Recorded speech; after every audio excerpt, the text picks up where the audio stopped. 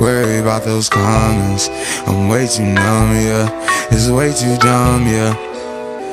I get those goosebumps every time.